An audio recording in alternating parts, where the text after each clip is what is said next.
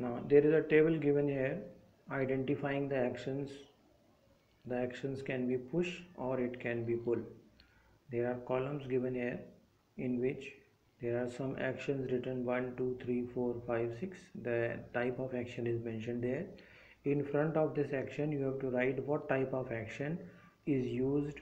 Like first one is moving a book. How will you move a book? So what action you will take the action given in the table are pushing pulling picking hitting. So you have to select which action will be used to move a book. So they have written pushing can be used to move a book. When you will pull a book then the book will move. When you will lift the book then the book will be moved. Only three names are written here. Why are other names not written here? So these are three common names and fourth one is blank so why do you think are these three names because other actions do not apply when you are moving a book placed on a table. In the end there is a, another column written action can be grouped as a push or a pull.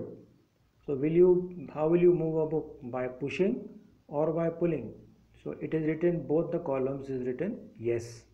It means we can make a book move by pushing or by pulling in the same way second one is opening or shutting a door so what type of action will be applied in opening a door or shutting a door? You have to write, fill in the columns and then in the end write what action can be grouped as.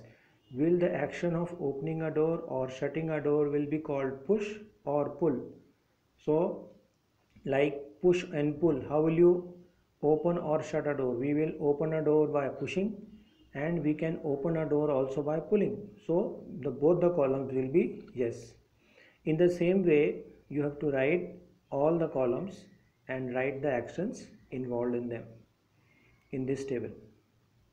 Once you have written the table you will see that in all the actions some of the actions will be common and action can be grouped as a push or a pull in all of them you will see either push will be there or pull will be there.